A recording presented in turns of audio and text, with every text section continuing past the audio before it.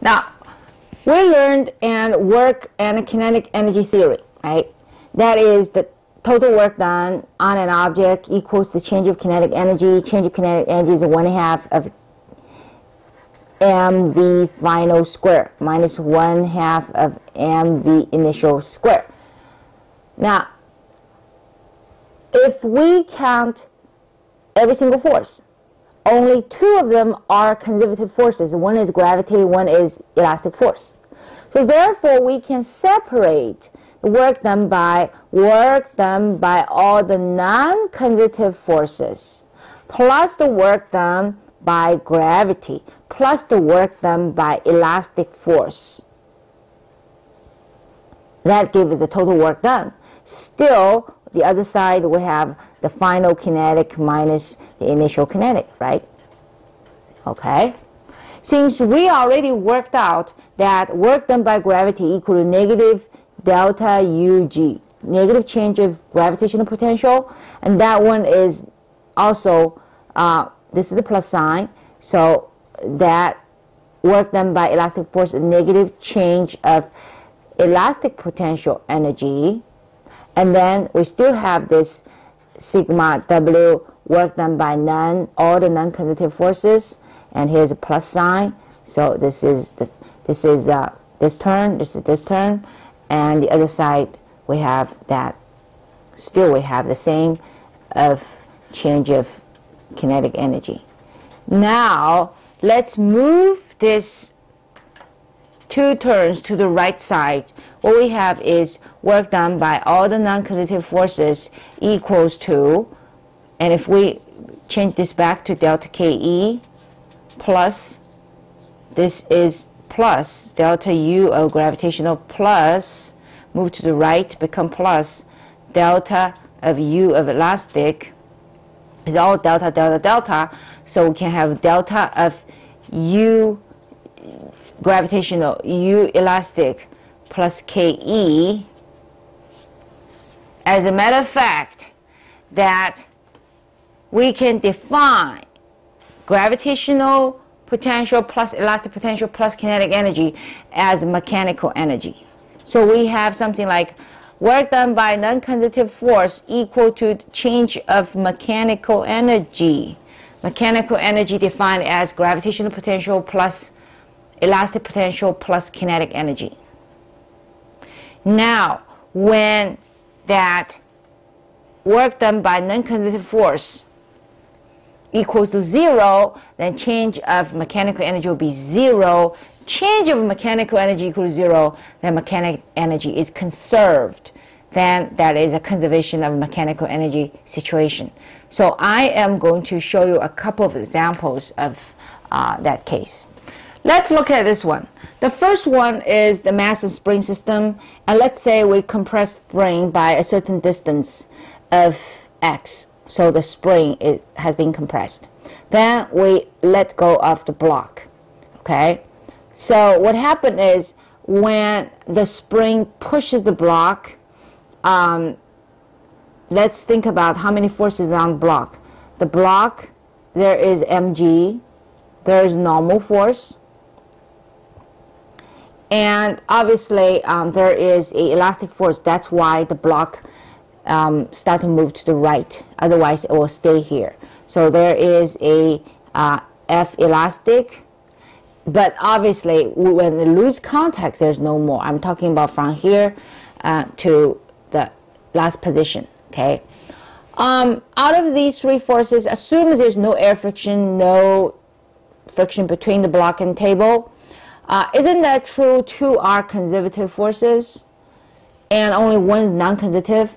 If we learn that work done by non-conservative force equals to delta ME, we just learned that, now, since the displacement is horizontal because the block actually moves this way and normal force is perpendicular to it. So we say that work done by the only non-conservative force equals to zero. Therefore, um, our mechanical change of mechanical energy is zero, so mechanical energy is a constant. Now, What does that mean? That means the total mechanical before equal to total mechanical after. Since mechanical energy involves gravitational potential, elastic potential, and kinetic. In this case, the block moves around the same horizontal level. There's no change of gravitational uh, potential energy. So as a matter of fact, we can take the ground as h equals 0, so we say the block has no potential gravitational potential energy. So before at this location, what it has is 1 half k of x squared. Later, when the spring get back to its original length, and all the energy actually goes to this motion is 1 half mv squared. So this is the case that initial we have 1 half kx squared, no kinetic, but final potential is 0, elastic potential 0, we get kinetic. So we can make them equal. We say 1 half of kx squared equals to 1 half of mv squared. Therefore, we can solve that what will be the v when the block lose contact with the spring. Same situation happened if we release a ball. We release a ball, the only force on it will be gravity. That is a conservative force if we ignore the air friction. So if we take the floor as reference h equal to 0, which is y equal to 0. Initially, it is h. Final is y. So we say initial height is h. Therefore, initial potential energy gravitational is mgh. The object is at rest. Kinetic is 0. So there's no spring involved. We don't have to worry about that. Final position, height is y. And final, that's why potential gravitation potential mgy. But obviously, you let the ball drop a distance, it will have a certain v. We name it final. One half mv final square. So if we make them equal, initially we have mg of h. Final, we have mg of y, and plus one half of mv final square. Now let's take a look. If I move this mgy to the left, I have mg of h minus y, right? And the right side is 1 half of mv final square. Now, h minus y, what is it? That is the change of height, delta h. So before I mentioned that it is the mg delta h which is very important because that is the change of gravitational potential energy. In this case, the ball loses gravitational potential energy because it lowered its position. Then the energy goes to, because you see, mg delta h, this is delta h. The energy goes to what? It goes to kinetic. So it goes to kinetic. So even actually we can take the final height as 0. The initial is h minus y. It will come out the same result. So it doesn't matter where you define h equals 0, as long as uh, for this event, the change of height is same, then it will result the same final velocity. Take another case. Say we have a block moving on a frictionless table with a VA, which initial velocity is to the right. Now the spring is at x equal to 0 position, which means no compression, no stretch. Okay, so initially, the energy of the block is 1 half mv square. I should say mva square. Then when the block hits the spring, the spring gets compressed by xb, so it has 1 half kxb squared, that's elastic potential, and still the block has a certain kind of speed, so it has a 1 half mvb square turn. So at any position before the block stops, it has kinetic plus potential. Now the block has its maximum compression, so it stops. Vc equals 0 and at maximum compression. So right now, no kinetic, all is elastic. And then what? Then the spring will push the block back. So the block eventually will uh, uh, leave the spring. And at that time, all the block has is kinetic. If during the whole process that mechanical energy is conserved. Initially, we have this much. Since there's no any loss when the block goes back, that VD and the VA, this is the VA, VD that way, only changes direction, but the magnitude are the same. So therefore, we have 1 half mvd squared equals 1 half mva squared. This is a case that ignore when we ignore air friction and uh, the contact ground friction. So um, from the conservation of mechanical energy, if named this is E1, that's E2, have E1 equal to E2, we can actually figure out at any location what is speed VB. Or if you give me VB, I tell you which location is XB. And also, when we make E1 equal to E3, we can find out what is the maximum compression with the initial velocity VA. Let's look at another case. Uh, for a isolated system. Now, we can have uh, one particle named as a system. We can also have more than one particle named. For example, in this case, we have block, this one M, and the other one is 4M. And with the spring, we define as the system. Okay, now let's take a look at this case. How can we use conservation of mechanical energy to solve this problem um, in an in effective, efficient way? Now, obviously, because this block is heavier, it's going to drop, right? Our question is, if we let this 4m drop by a distance h, what will be the speed of both blocks? Now, we have to do some assumption. First of all, the rope or string connect M and 4M is non-elastic. It's what we call rigid. Rigid means the length will not change. That means how much 4M goes down and how much M has to go to the right. That is mean the string is rigid. Second, the spring is ideal spring, has no mass. Spring constant is K. No mass means we don't have to worry about the kinetic energy of the spring. We only uh, uh, think about its elastic potential energy.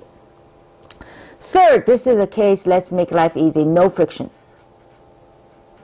No friction between the block M and the table. So, and also no friction between the rigid rope and uh, the pulley. That's the pulley. So if we mark the force, we have mg, we have normal force Fn, we have this kx force once the spring has been stretched. And there is tension T. And there is tension T. This is, we can consider as a pair of action and reaction force. And there is 4mg. Now, it is very important that if we define system, um, the internal force, well, in this case, the internal force is tension T. Tension T is non-frictional in this case. So, internal force, as long as internal force is non-frictional, um, we are okay. Because look at all the external forces in this case. This is the external, and that's the one, and that's when we have um, actually four, Kx, Mg, Fn, and 4Mg. Out of these four external forces,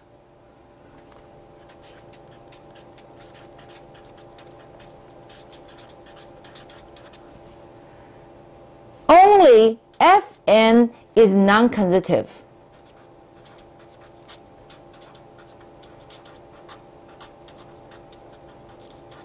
mg, 4mg, and kx are all conservative forces. And when the block M moves to the right, Fn doesn't do work because 90 degrees angle. So Wfn equals to 0. So we can say, say first, um, F internal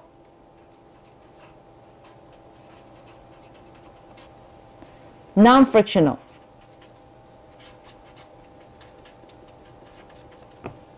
And then we say that sigma W non-conservative external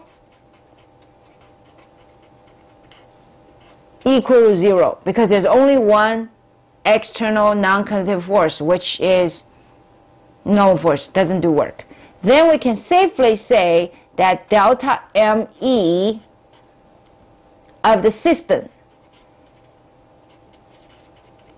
equals to zero, which means system's mechanical energy is conserved. You see, before, when we apply sigma WNC equals to delta ME, if there's only one particle, we don't have this internal force issue. But if we pick two or more than two particles, objects as the system, we really have to consider the internal force between them, whether it's frictional or non-frictional, because only non-frictional that system's mechanical energy will be preserved. I think that makes sense, right? So only the internal forces are non-frictional and the work done by external non-conductive force equal to zero, the system's mechanical energy is conserved. Then life will be much easier. Okay, let's assume initially before this block drop and after. Isn't that after both of them? Because how much this one move and how much that one move? And they must have the same speed. So final is 1 half that 1m plus 4m, that will be 1m plus 4m because they have the same speed, v squared. That is kinetic energy final. Change, initial, there's no kinetic energy because they're at rest. This change of kinetic plus, what's change of potential? This one has no change of potential, only this one. This one's change is negative because it drops. Negative 4mg of h. That is the change of gravitational potential.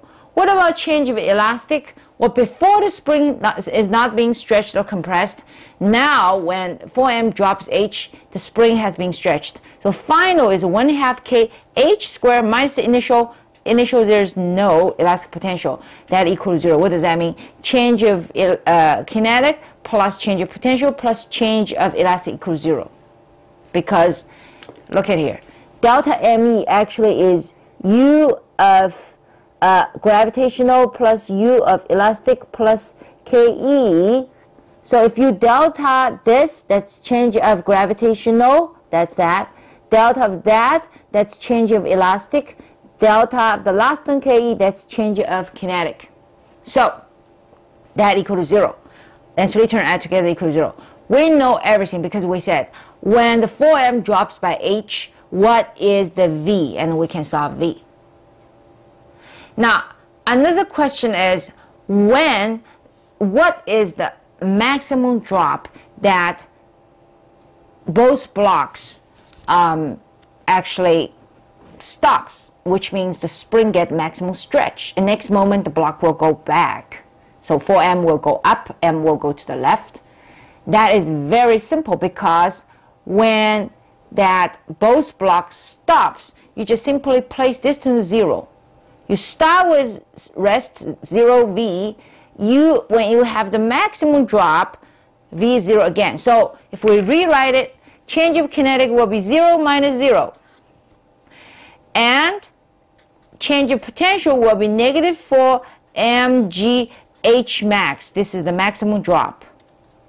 Change of elastic now, the spring get the maximum stretch minus 0. That equals return add together equals 0. From there, actually, we can solve what is the maximum um, drop for 4m. That is same as the maximum stretch for the spring. Now, since we